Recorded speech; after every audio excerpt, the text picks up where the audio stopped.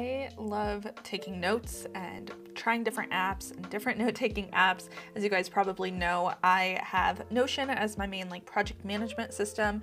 I use Obsidian for personal journaling. And recently I found Scrintal. Scrintal is an app that works kind of like a sticky note system with different boards.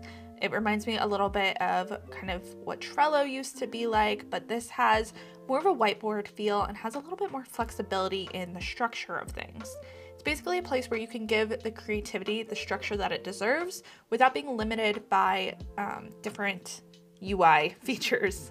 So basically, this is a great application for students, freelancers, just anyone who wants to connect ideas like you do in Obsidian or Notion, but have a little bit more flexibility with how your cards are displayed. Scrintal reached out to me a couple weeks ago asking if I wanted to do a paid video with them, and I immediately said yes. I had already been checking Scrintal out for a couple of client projects, and I was eager to jump in and have a real excuse to use it and learn it. So while this is a sponsored video, all opinions are my own, and I'm actually going to share a few things that I don't love about the platform, but I hope that they improve as time goes on. So let's jump straight into the basics. There is very little learning curve with this application, which is one of the reasons that I love it. It's really nice for someone who maybe is just getting started with PKM, or if you are a student, it's really easy to just jump in and start taking notes. So everything is card based. As you can see here, we have our left side panel that has the desk view. I love this view and I'll explain more about that in a moment. We have the card view, boards, tags, tasks, and web links on the side. And then we have starred boards as well as some recent notes, and you can load in more of those as needed. You can also hide this entire side view, which just gives you a really clean look at your board. And then on the left side panel, we also have links and backlinks as well as information and all kinds of other stuff available um, from the main menu here basically. So we're gonna start with this really clean view of my desk board to give you an idea of what the structure looks like. Everything works as a card, so you can right click and create cards here. You can click on the little plus icon here, or you can use the keyboard shortcut C to add a new card.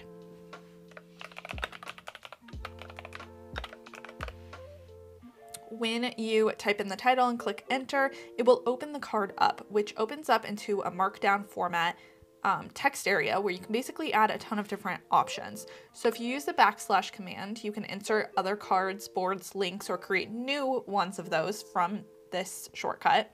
You can add headings, bulleted list, ordered list, tasks, quotes, dividers, and even add media in here like YouTube videos, Twitter posts, etc. You can also tag in the current time and date so that you can quickly um, keep track of when you were taking notes. I find this really helpful for meeting notes um, and it's really fast to enter as you can see. Like I said, everything is markdown format, making it really easy to type and add new lists. And one of my favorite methods here that I've been using lately is to create task lists in here. This is great for just grocery items, to-dos, or planning larger projects. So for example,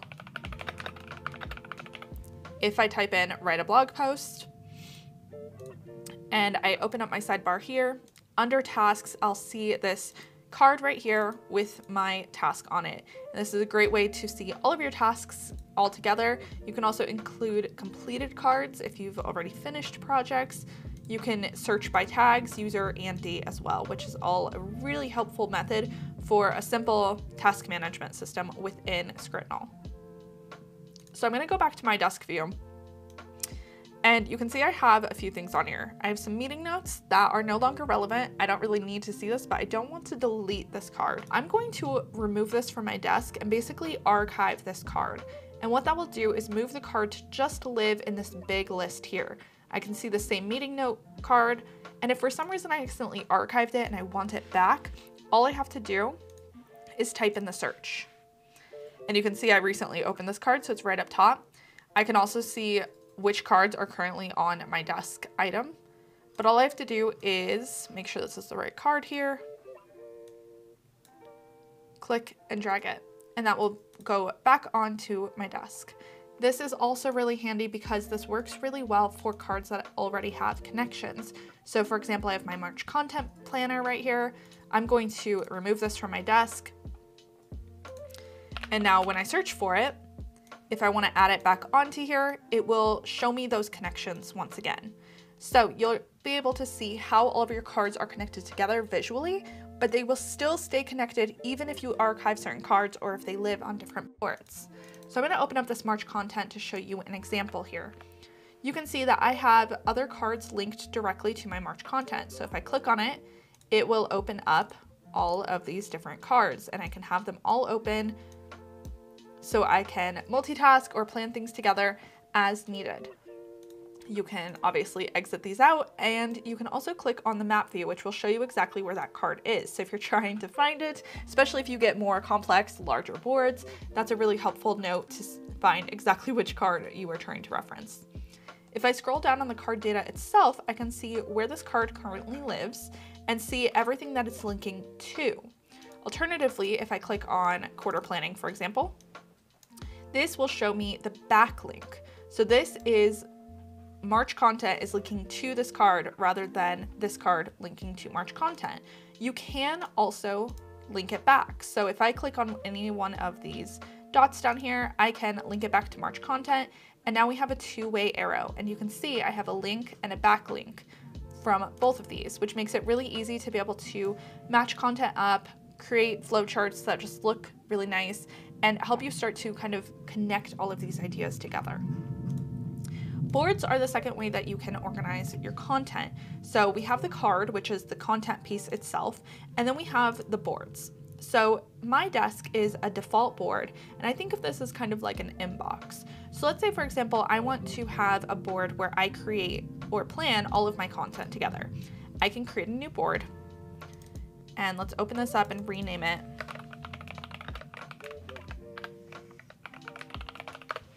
We're going to call it content planner. And then I want to move my March content onto here. And then let's say I also want to add in all of the content that I already have linked. And there we go. Now we have all of the content from my desk view on its own board where it can live and continue to grow. So for my desk view now, you can see that I have my board that's showing all of this content is linked to it. I can highlight a big section at once and click remove from desk, essentially archiving. Now my content planner board can live here if it wants to, um, and I can easily access it by double clicking, or I can just star it, have it be in the starred section, or I can just remove it from my desk entirely and just search for it when I want to. On the boards themselves, there's a few different ways that you can style the boards just to make it easy to find things and make it really aesthetic visually. So there's a couple of different options. First off, we can toggle the card layout types. So right now you can see the title with a little preview of what's in the notes. We can toggle different layouts so that it's the title only or a smaller title if you have a lot of notes and you want to keep it really concise. I prefer this view just because I like being able to see a little preview of what's in my notes you can also create columns. Basically, this is a way to organize your notes into different categories. So for example, we could call this videos and add another column called blog posts. And then I can click and drag these different notes into my columns. Like I said, all of these connections still exist, so it's still really easy to find your links and backlinks within the notes themselves, even without that visual connection. So if you don't like the arrow flowchart kind of feel, using columns is a really great option. This starts to feel a little bit more like Trello um, with the Kanban kind of style. You can also add text, so you can add headers. For example, we could just call this March through December and then we can duplicate this entire section here and use it as a template to start planning next year's content. Duplicating is really handy and I found myself using that a lot, especially when it comes to creating things like routines or different workflows. There's also a different kind of card in here called the daily card. So essentially what this is, is a card that is tagged with today's date and then you can type in your journal entry or whatever you want to do. This could be things like a task list. And you can use tags, which will create new tags if you don't already have one, or it can help you search for them. Now, all of these daily notes can easily be found in the card section, and then by searching for the date, or like I said, you can use those different tags to find specific items. So, our journal tag, for example, will pull up this one card And now we can see that card quickly on the sideline here. There is a few things that I've noticed in Scrintal that I don't love in terms of function. If I want to create a checklist of items and I don't want them to show up in the task view, there's no way to do that. So I either need to commit to using the task view or not use it at all. Um, you can filter, like I said, by tasks, but I wish that there was an option for creating the content where it is maybe a task list and then an actual checklist. And the checklist maybe doesn't show up in tasks themselves. Um, that's a small thing, I know, but I use checklists a lot and I don't necessarily want to see them all in my huge task item list. Now, of course, the other option is just to filter out tasks um, that I don't want to see, but it is an extra step that I would love to just have built into the system itself. In addition to that, I do wish that there was an option for some simple tables in the notes. I find myself doing a lot of like calculations or just building out like small tables with some columns for data. And I would love to see like a column option within the notes itself, not just on the boards. It would just help add a little bit more structure to my notes um, and be able to, you know, kind of see some of that in the note structure itself. In addition to that, I would love to see a toggle item. A lot of times I'll have a big paragraph of information and I would love to be able to toggle it closed or open so that I don't have to necessarily see all of the info directly in there, but be able to just see the headings and then open each section. Scrintal is a new company, so I know that they're working on a ton of new features all the time. And while their main focus is to keep things simple, I think there's definitely a few functionality type things that they could improve on.